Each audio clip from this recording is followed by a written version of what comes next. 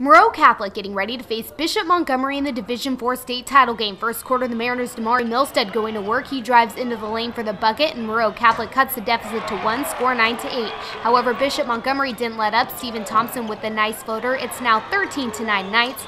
Second quarter, the Mariners continue to fight. Armond Simmons goes around defenders, maneuvering his way to the hoop for two.